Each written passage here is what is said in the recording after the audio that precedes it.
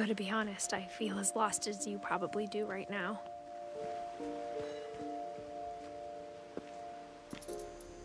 I think the people in these stories believed them, for what that's worth.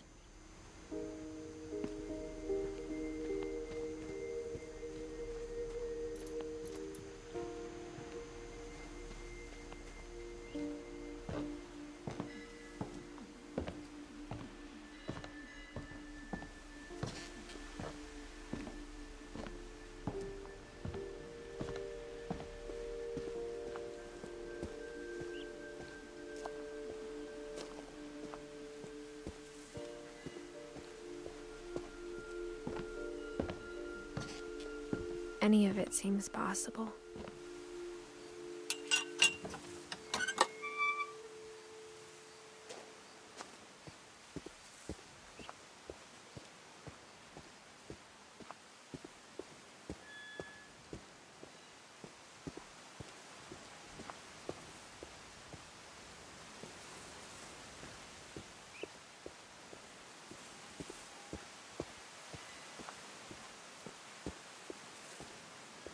Think we've been surrounded by death for so long, we've just gotten used to it.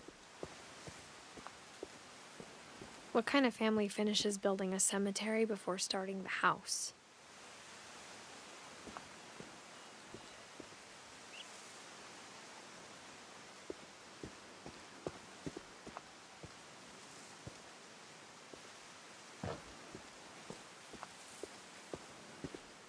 It's embarrassing for me to admit this, but. The pet cemetery made me more uncomfortable than the human one. Three of the gerbils were mine, and two had been my fault. Sven built the house, but it was Edie who designed the cemetery. I'm sure Odin's monument had been Edie's idea. My mom was always trying to move on, but for Edie, the past never went away. She could see it poking out of the water at low tide.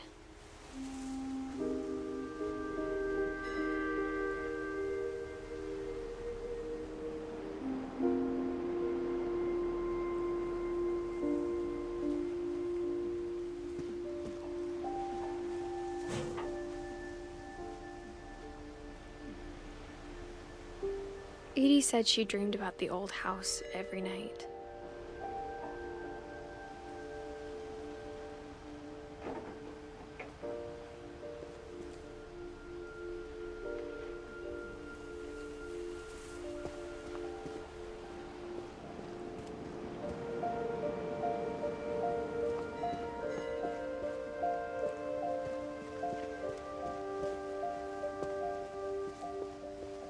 Side was always easier for me to understand.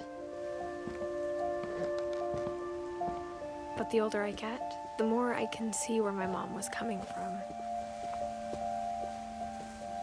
Her dad had been pretty strict, but it wasn't enough to save her brothers. She was just trying to do better.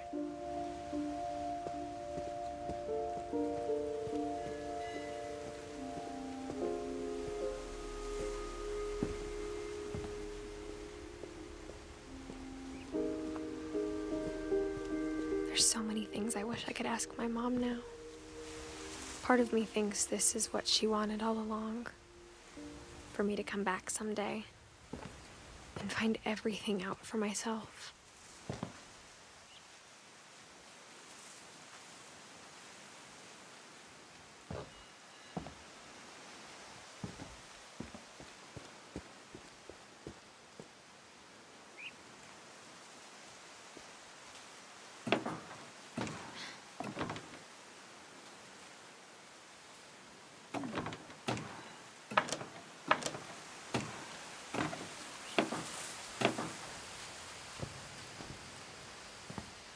Looking back on it now,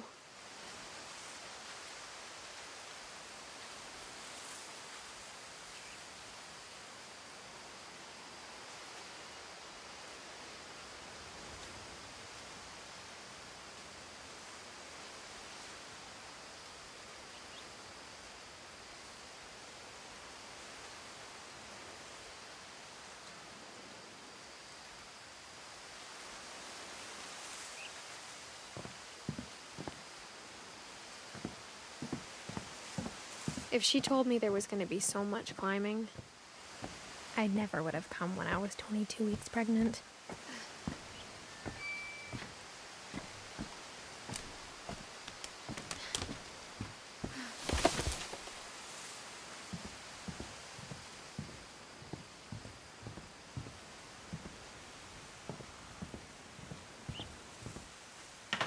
I never met Grandpa Sam, but I think he and my mom had a lot in common.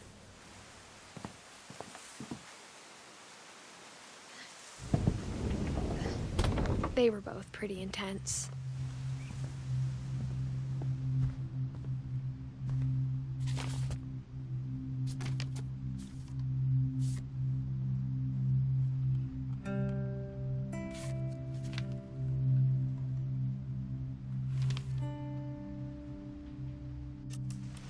Dawn, I promise, you'll never forget this weekend. Yes, sir. These memories are gonna last a lifetime. Hmm? I gonna have to shoot anything? It's a hunting trip, Dawn. Shooting is strongly encouraged.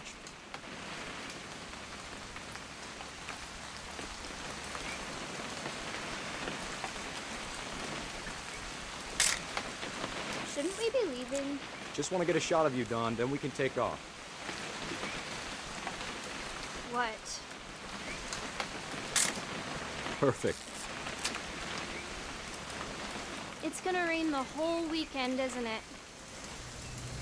I will never forget this weekend, Dad.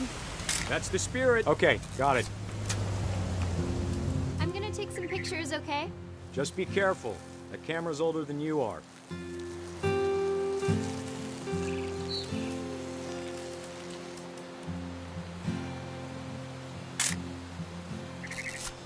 You're right, Dad. It's starting to clear up.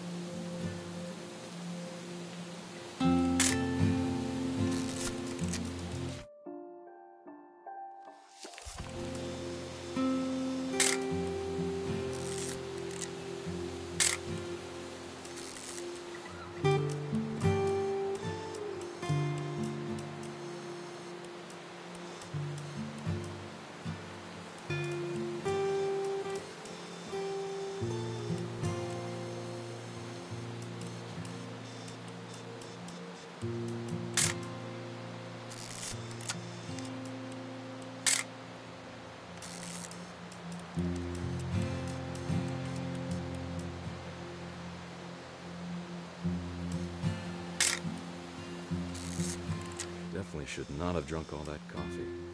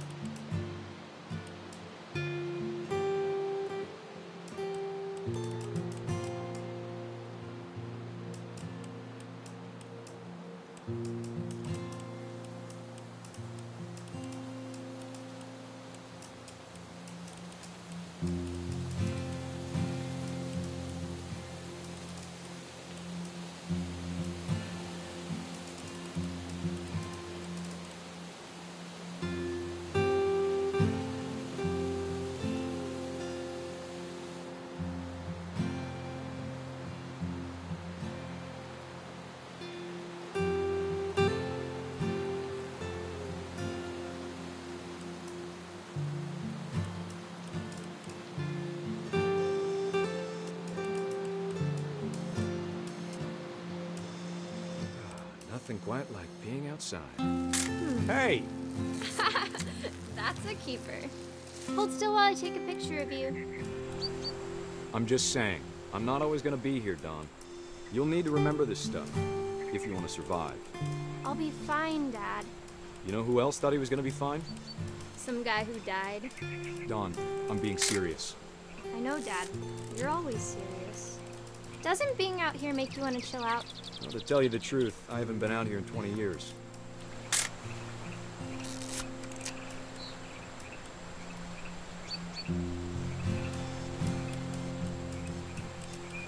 Last time I was with my brother Calvin. Man, that was a great trip. Your grandpa Sven taught us how to fish, how to build a fire. Found an old logging trail. There were deer everywhere. I bet if I could remember where that trail was, we'd spot a buck for you in no time. Give me a minute to check the map.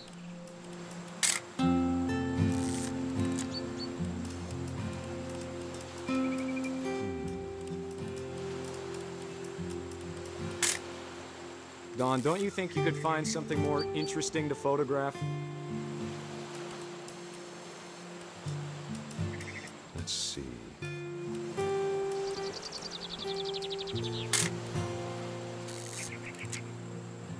Maybe.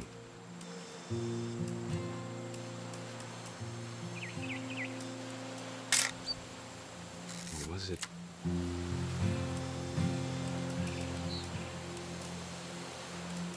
Dad! Good eyes, Dawn.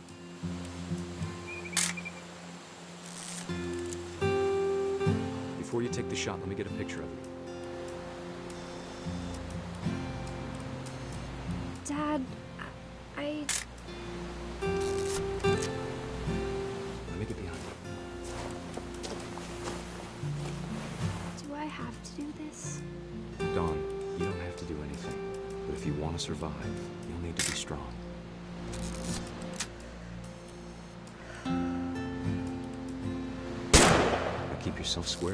Great shot, Dawn!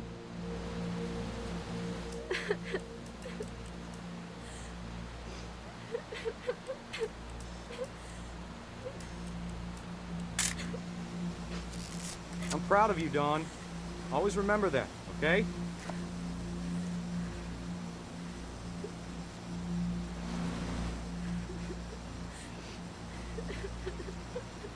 Sorry, Dawn. Just gotta reset the timer.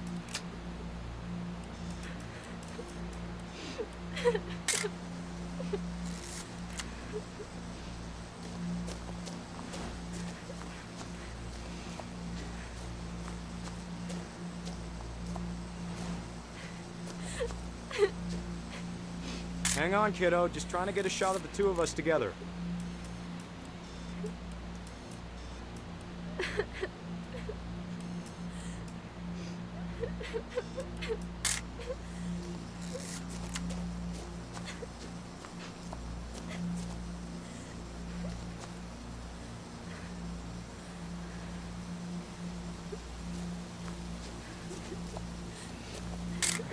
Crap.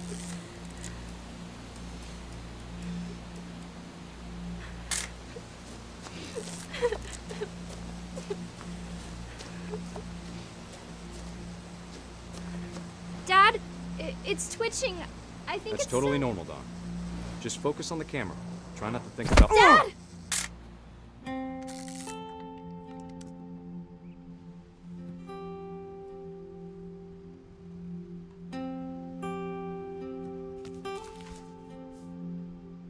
Of all these stories, that's the one I wish most that my mom had told me.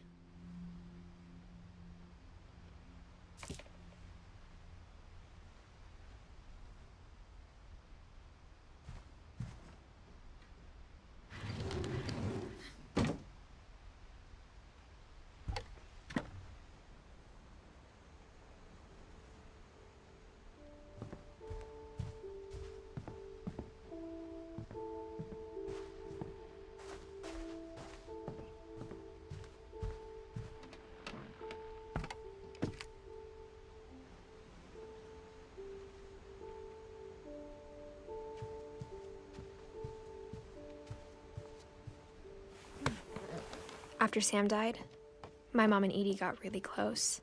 They'd both lost a lot.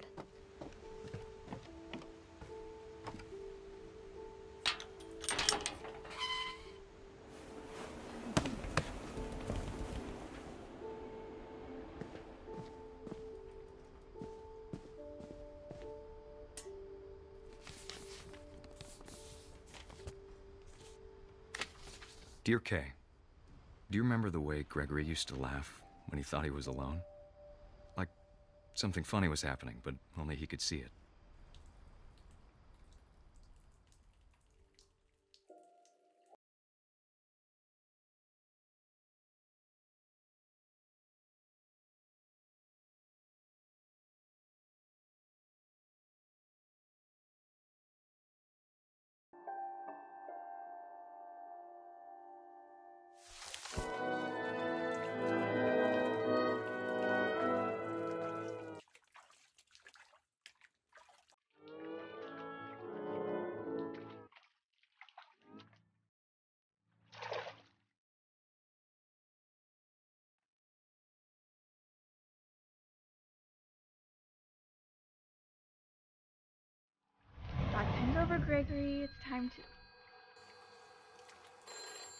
Hold on, sweetie.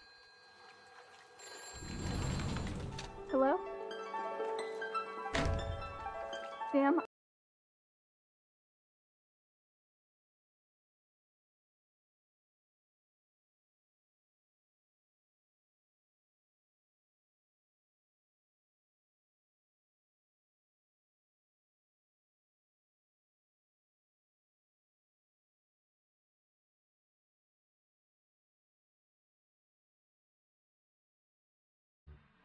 Reminded me so much of Calvin. Lost in his imagination.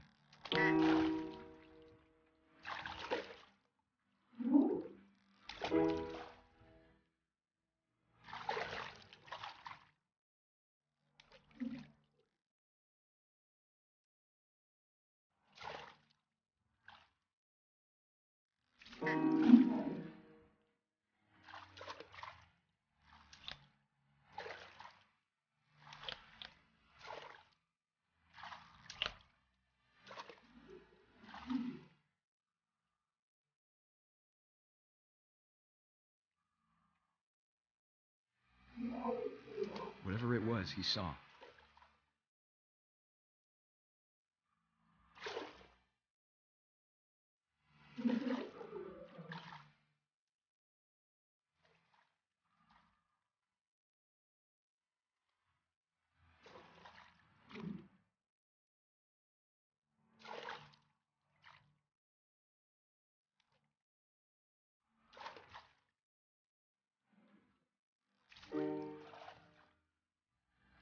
Made him happy.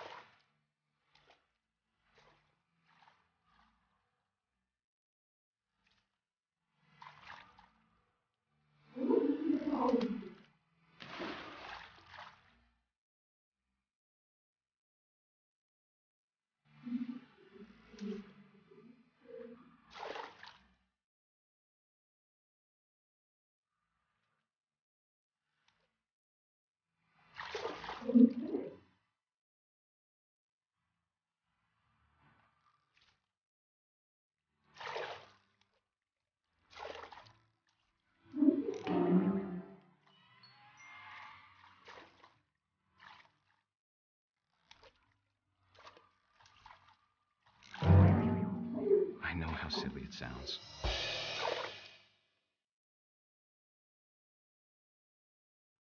But I worried about a baby being too happy. But I can feel her slipping away. Sorry about that, Gregory. I know you did everything you could. Maybe if I hadn't called that night.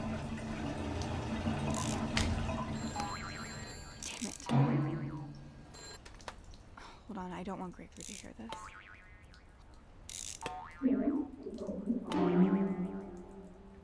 I wish he could have told us about the world he saw.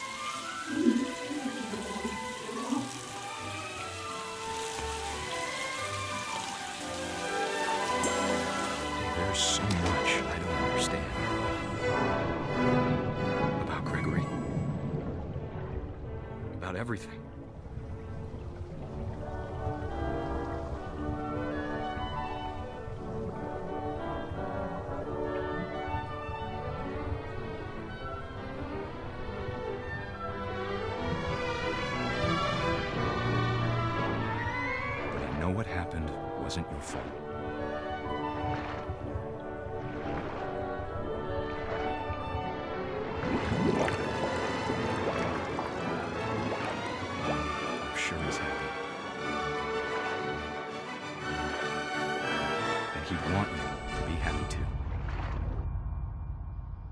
Good luck, Kay. Love, Sam.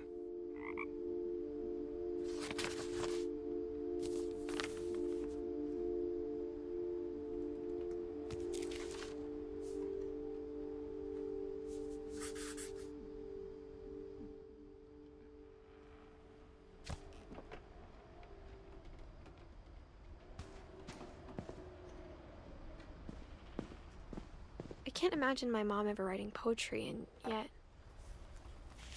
poem for Gus, who always said the wedding was a bad idea.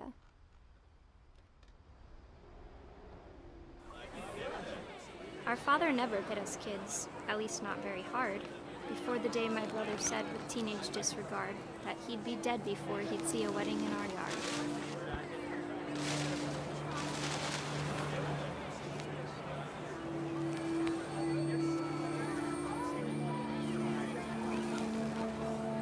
Father made him come, of course, but Gus stood far apart, just flew his kite and bottled up the storm inside his heart.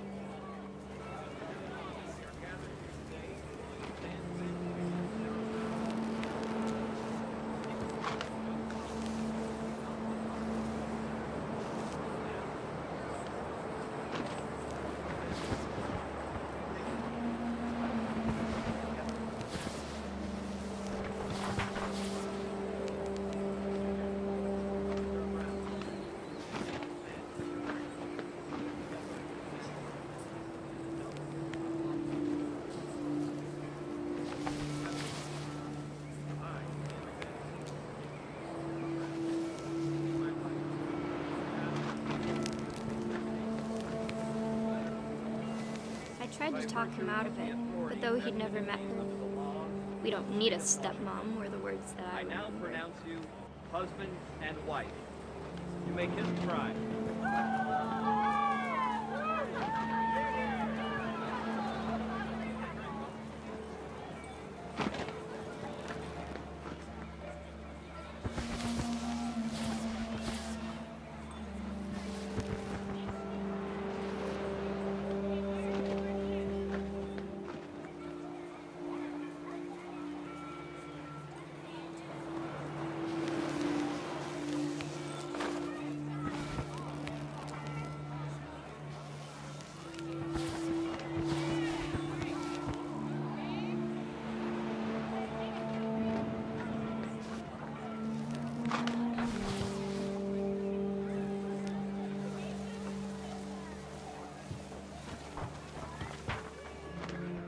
When the photos came, Dad ordered him to Come here. But Gus declined and, as a sign, held up his middle finger.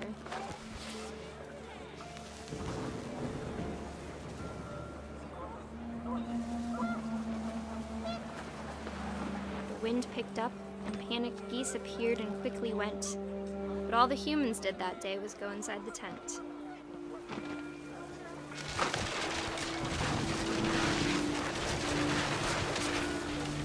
Rain came down in buckets then, but no one seemed afraid that nature might destroy the tent our dad had crudely made.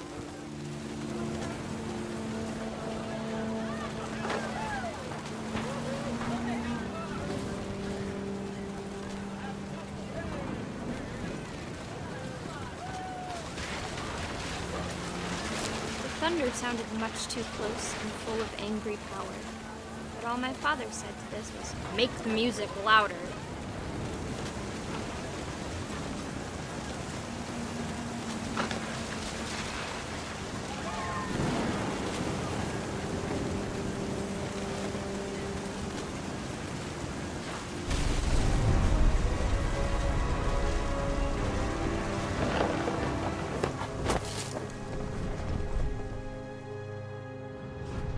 Wish that I could truly say I thought about you on that day. Out there on the beach alone, just you, the wind, the sea, and foam. But I didn't. Until we found you.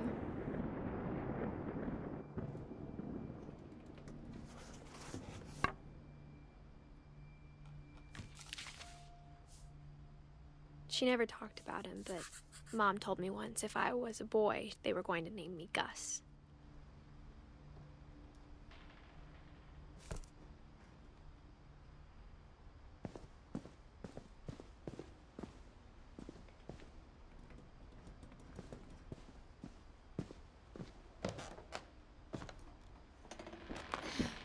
My mom moved up to the loft after her brothers died. At the time, it was as far away as she could get.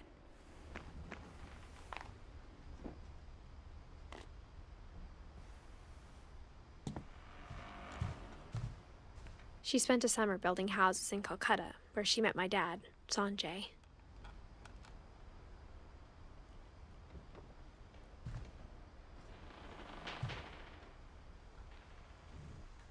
My mom moved to India a week after graduation and got a job teaching English. Lewis was born a year later.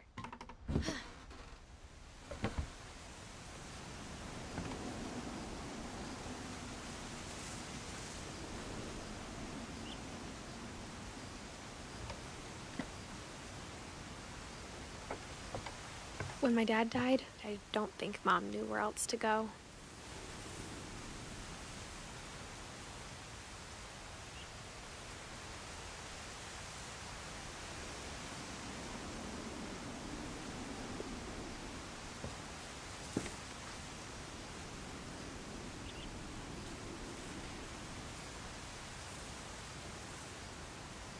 I'm sure Edie was happy to have her back.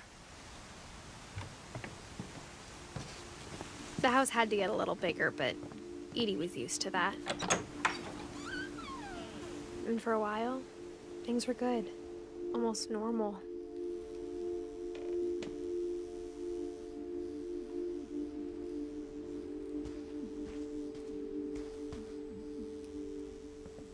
But it didn't last.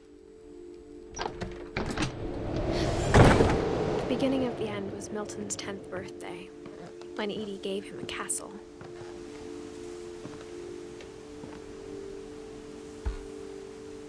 After Milton disappeared, the only thing he left behind was a room full of paintings.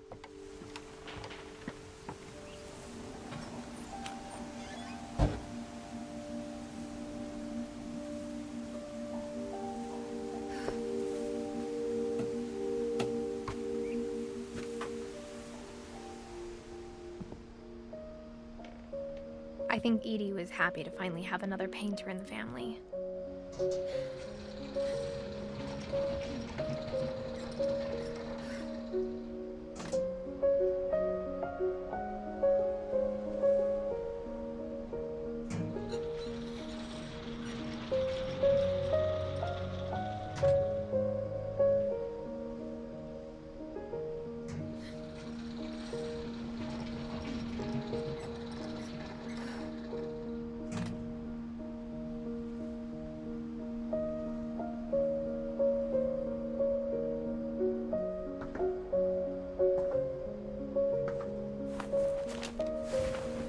Milton Finch in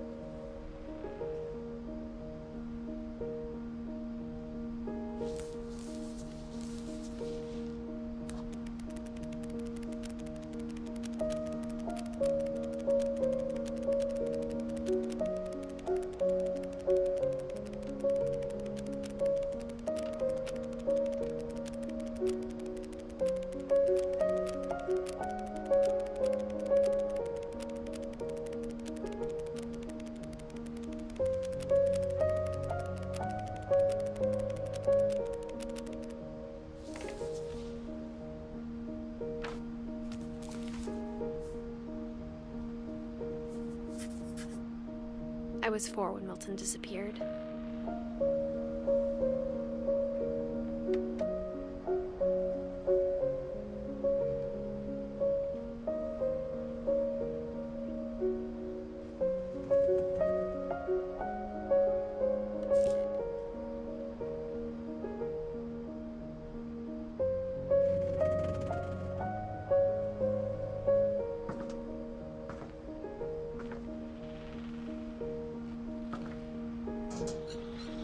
Mom spent months searching for my brother. Then she sealed the doors.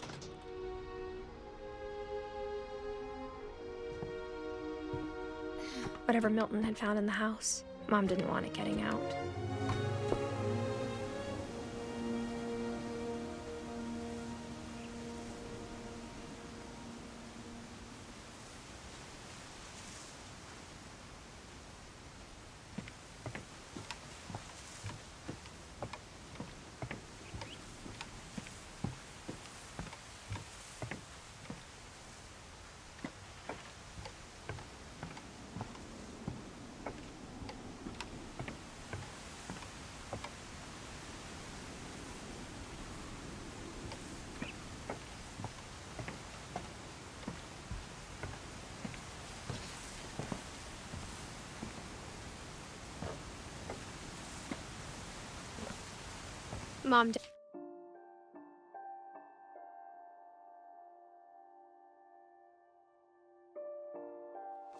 Definitely blamed Edie, but I think Lewis blamed himself. After he graduated, he just spent more and more time in his room. Until Mom got him a job at the cannery. Everyone always told me to stay out of Lewis's room. Except Lewis.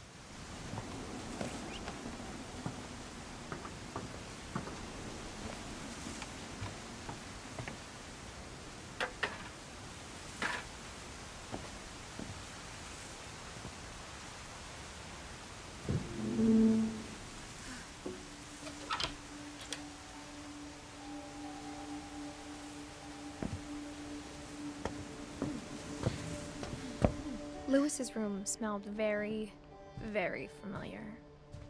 That part of him lived on.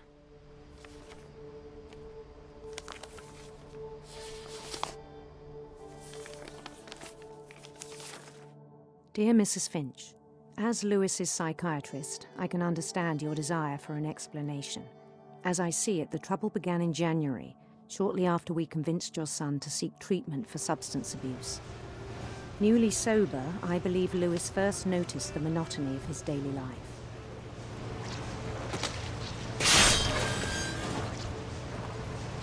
He kept working at the cannery, but he withdrew part of himself. In our sessions, I saw the same behavior. His mind began to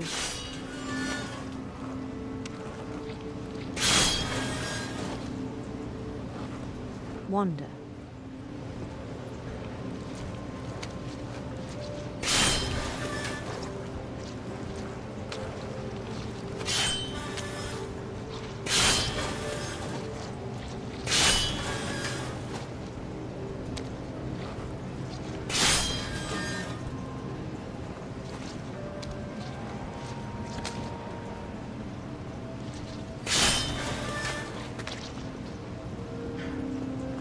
Asked him to describe it. He said he started small. Imagining a labyrinth. He'd feel his way about. Then something moved. Bats.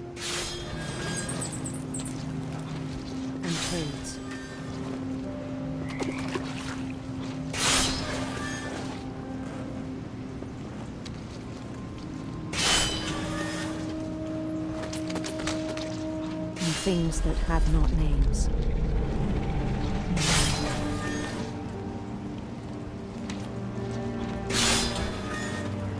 He knew it was all in his head.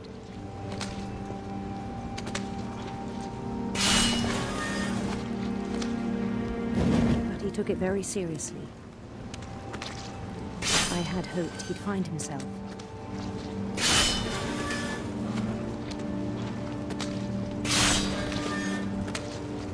But he found something more. I worried about him then, daydreaming at the cannery.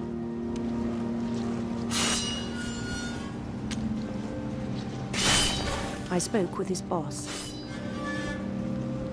But he said Lewis had become a model employee. Methodical, tireless, focused.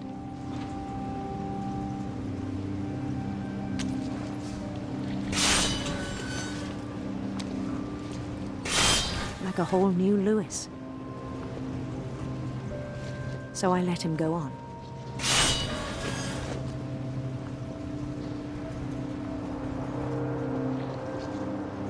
I even encouraged him.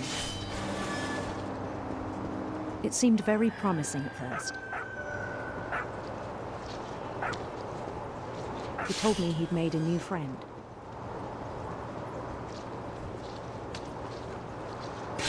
On the edge of a city he named Lewis Topia.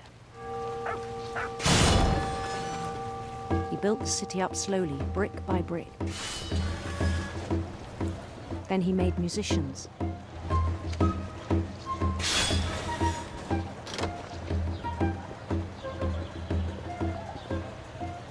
And songs for them to play.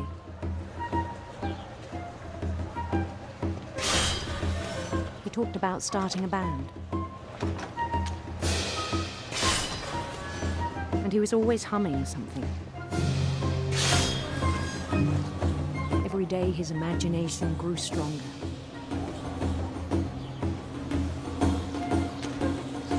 He no longer spoke at the cannery. But his chopping was as reliable as ever. Then one day it struck him that all the cheering crowds, even the stones under his feet, were all in his imagination. So he could do whatever he wished.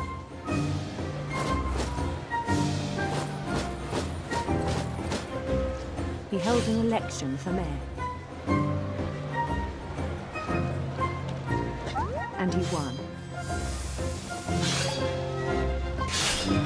They begged him to stay, but his mind was already wandering. It became a game for him.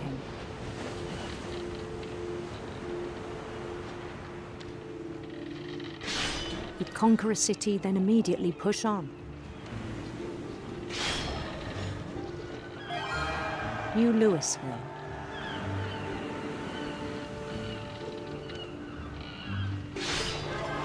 St. Louis. He started drifting away from our reality.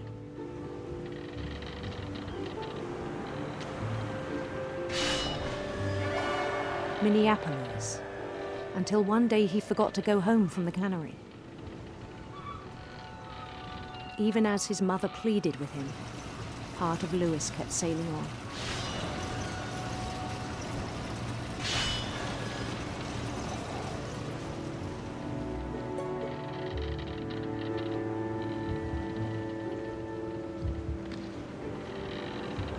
In Lewisburg, he heard rumors of a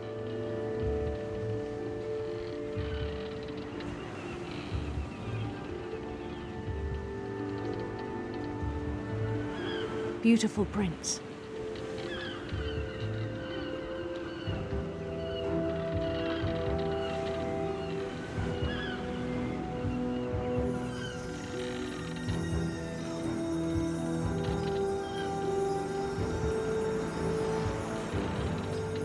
The prince was on his own quest for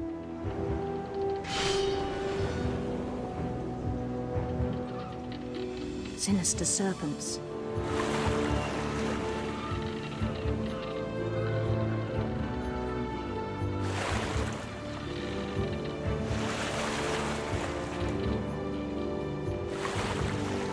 Followed the sound of his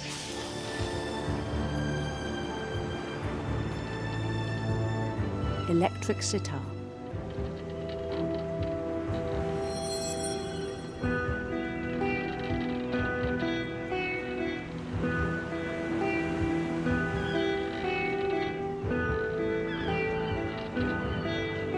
His chase led him to a golden palace east of the sun and west of the moon.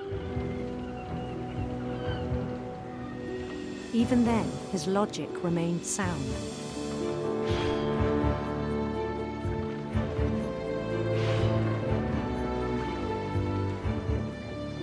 He knew the world was all in his imagination.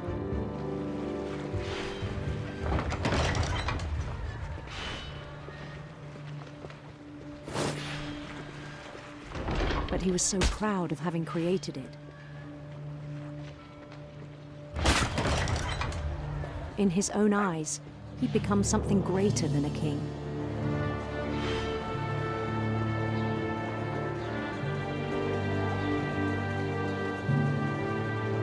For someone who'd never known success in the real world, I think it was overwhelming.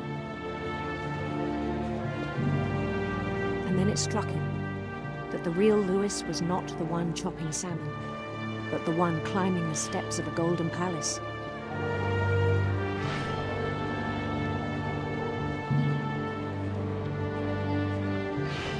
My imagination is as real as my body, he told me. It was hard to argue with him.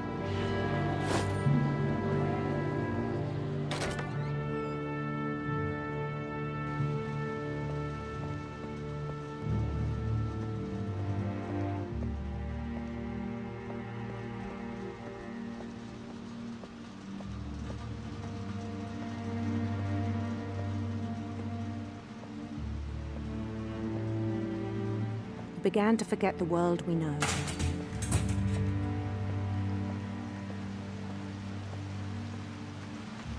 I think it pained him to remember Lewis, the cannery worker.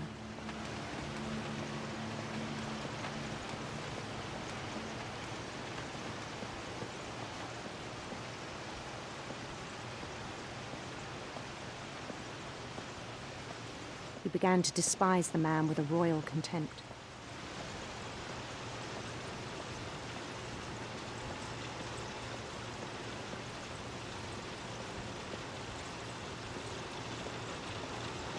I still thought I could save him.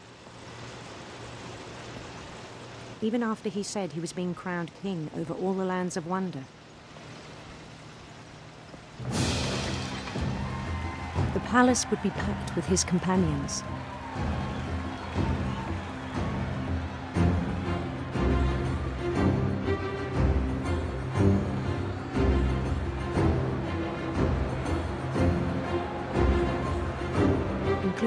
Wise Calico who'd insisted on advising him.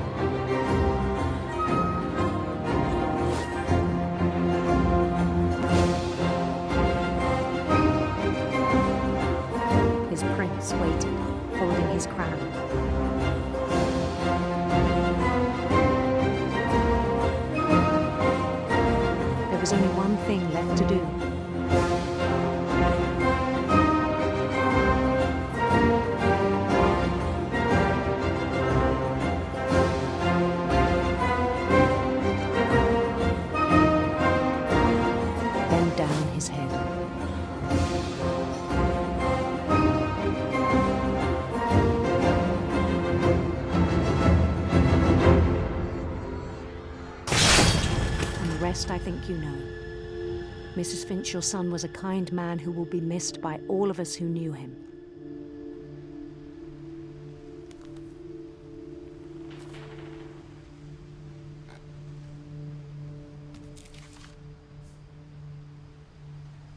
My brother was really cool. I wish you could have met him.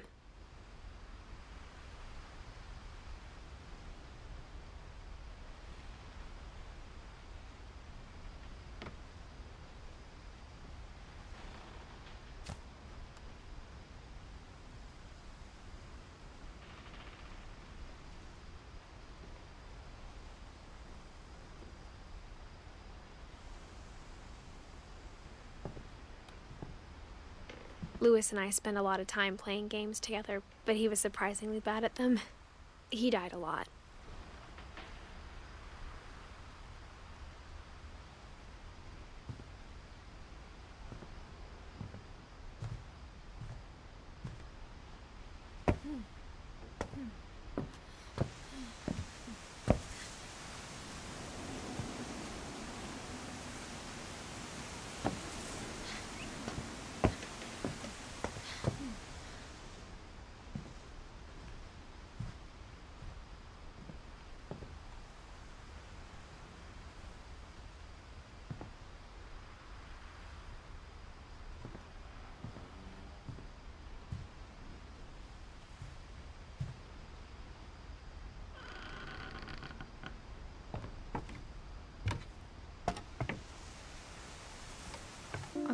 On Lewis's funeral, my mom told me to start packing. She waited until the day before we left to tell Edie. I'm not sure if she wanted to make it easier or harder.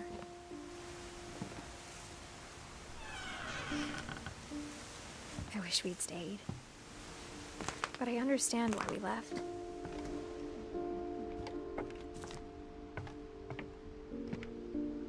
My mom ended up leaving everything behind. What happened that night had been coming for a long time. Maybe it should have come sooner.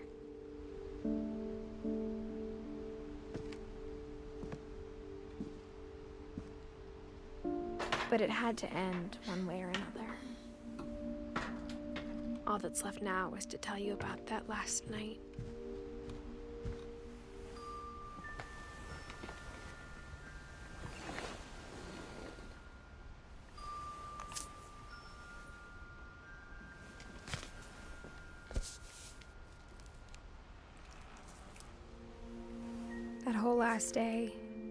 Just watched us pack and didn't say a word.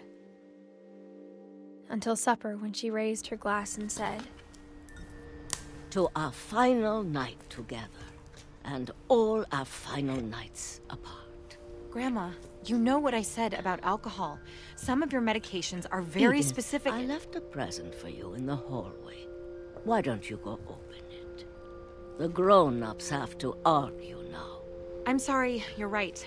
We're all leaving tomorrow. Let's just enjoy our last. I'm not leaving. Edith, you're excused.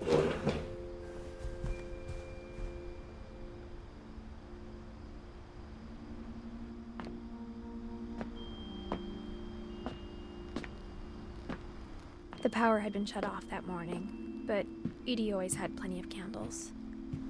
When my mom sealed the library, I don't think she knew about the other entrance. Or that Edie had a key to it.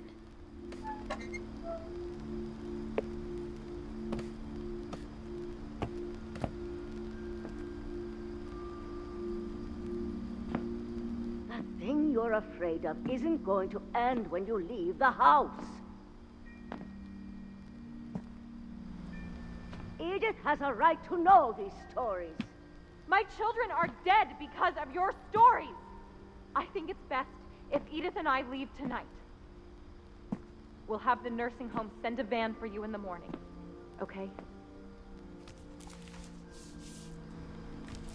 Dear Edith, there's so many stories I wish I could tell you, but there's only time for one. This is about what happened on the night you were born.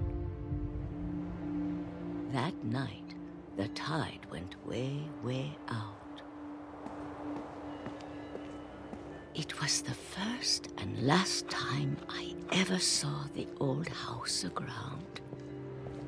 There'd been an earthquake out in the middle of the ocean. They called it the lowest tide in a thousand years. God, it smelled awful. You know, I've seen that house every day of my life.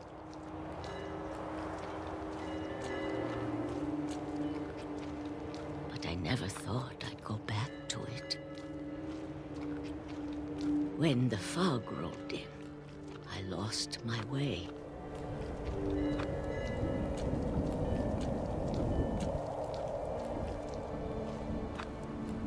I got turned around.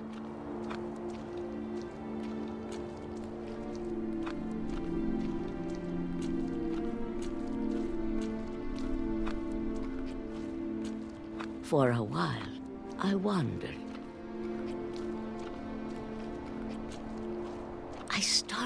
Seeing things.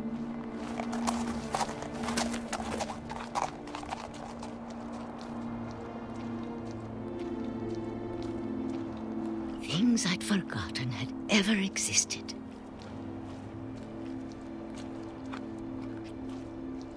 But when I saw them, they felt like old friends. That night, a lot of things came back to me. Or maybe I came back to them.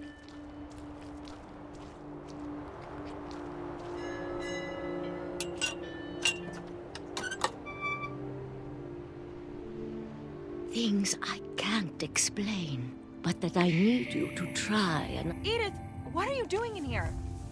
It's mine. Edith! Mom, you're gonna rip it, let go! I kicked and screamed, but Mom dragged me to the car.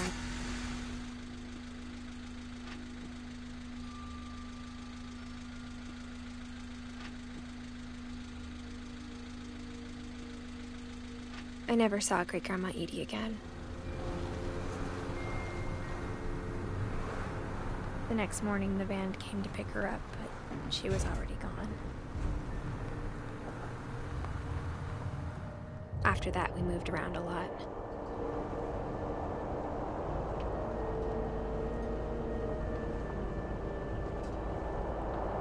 We both tried to make the best of it.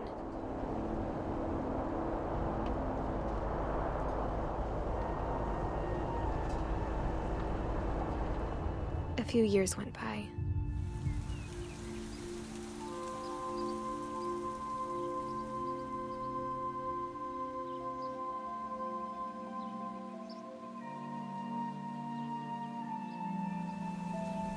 My mom didn't like to talk about it.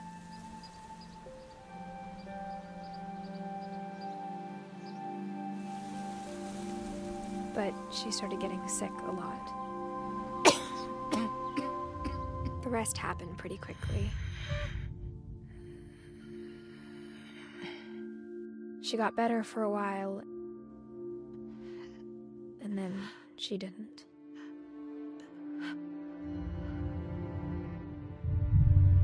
And then I was alone.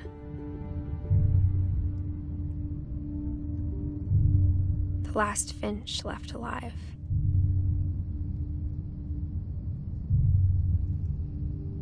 Until I found out about you. I'm still not sure what to tell you about all this. If we lived forever, maybe we'd have time to understand things. But as it is, I think the best we can do is try to open our eyes. And appreciate how strange and brief all of this is. This journal was supposed to be for you. Hope you'll never see it. I just want to meet you and tell you all these stories myself. But I guess if you're reading this now, things didn't work out that way.